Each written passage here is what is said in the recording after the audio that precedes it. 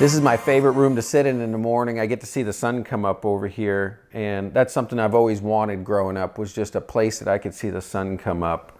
I'm Shawn Kaplan. Thank you for tuning in to another Monday Motivation where we give you a little dose of caffeine for the work week. I'm honored you're here, and I'm honored you took just a couple of minutes to listen to my message. So today I want to share with you three words. State, story, and strategy. So here's what I mean by that. It's very simple. For me to really, really get myself focused for the day, one of the things I do in my morning routine is number one, what is my state? What am I in right now? Am I in a worry of uh, angst, anxiety? Am I in? Am I being apathetic? Am I in a jolly uh, state right now?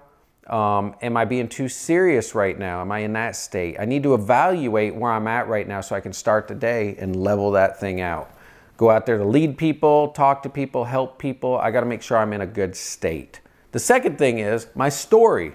So, the story what is the story I'm telling in my head right now? Am I grateful? Am I thankful? Do I have abundance in my life? Am I am I uh, appreciative of the challenges that I've been uh, that have been put in front of me or the struggles?